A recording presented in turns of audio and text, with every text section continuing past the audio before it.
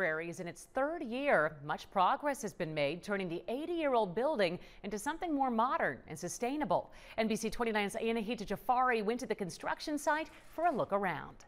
The iconic library has been here for 80 years. Now gutted and being rebuilt, a new version of its old self will be better for both students and the environment. The University of Virginia has multiple goals for the library project. The primary one is energy efficiency. Um, we have managed to cut the use of the library's energy in half from before we started. That's counting lights, heating, cooling, everything. Kit Meyer is the project director. She says the building used to use 800,000 energy dollars every year. The new number should be less than half of that.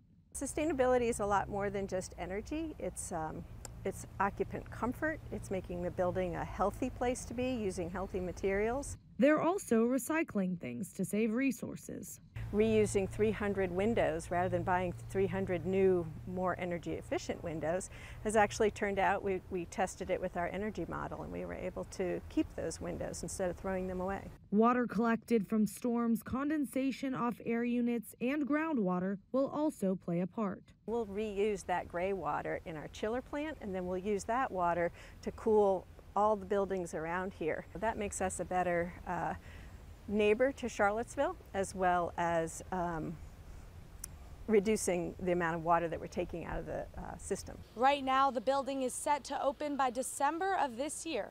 On grounds, Anahita Jafari, NBC 29 News.